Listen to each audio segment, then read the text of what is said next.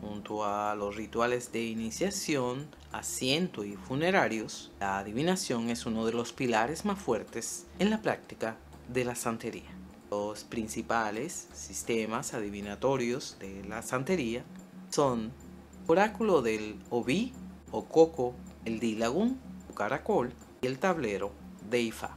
Este último es considerado el de mayor categoría ya que parte de los oráculos del Babalao.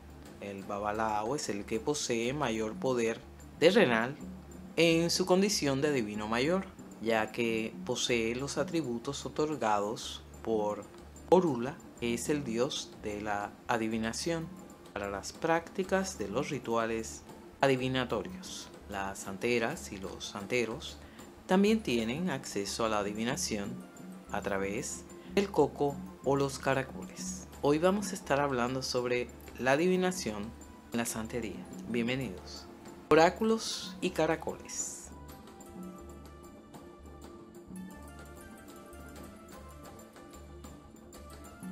En el oráculo del coco es cuando el Babalocha, padre de santo, usa el oráculo de Obi. Toma un coco seco entre sus manos y lo bendice delante de todos los santos.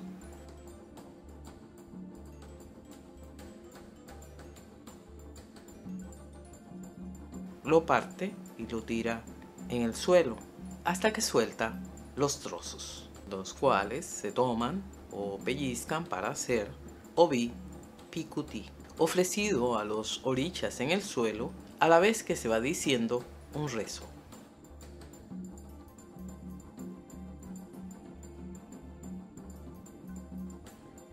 Arreglados los cuatro avinus, se invoca al Dios Supremo a la corte celestial, al sol, a los muertos y a todas las deidades. Él le da y orichas protectores del sacerdote o sacerdotisa. Se presenta en la cabeza, pecho, manos, hombros, rodillas y pies del consultado.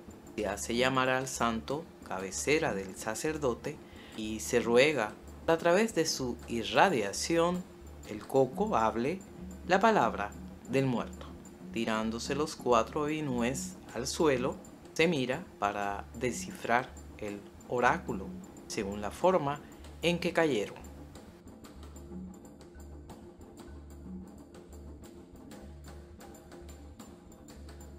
Oráculo del Dílago. Se trata de caracoles marinos usadas como piezas de oráculo en la regla de Ocha.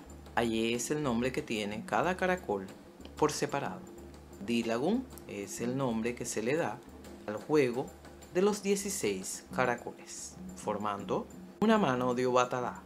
Los 16 ayes deben estar defondados en el caparazón. Este arreglo es indispensable para que caigan y se sostengan boca arriba.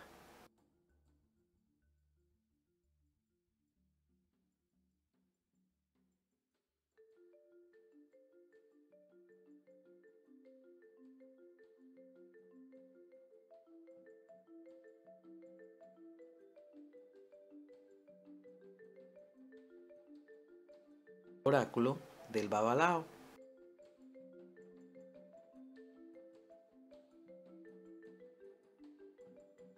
La iniciación en el IFA es muy diferente en muchos aspectos a los de santeras o santeros. Las mujeres no pueden pertenecer a este grupo de religiosos. Está delimitado para hombres muy seleccionados.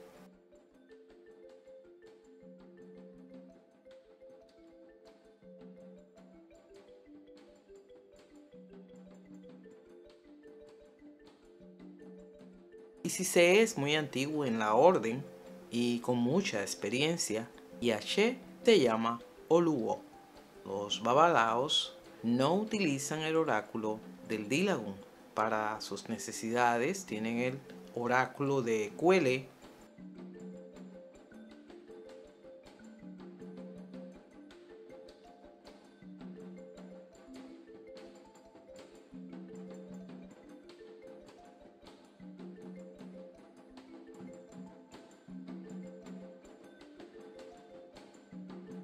Y el DAT de Ifa y su registro es el último recurso para tener seguridad en todo oráculo de la regla de Ocha.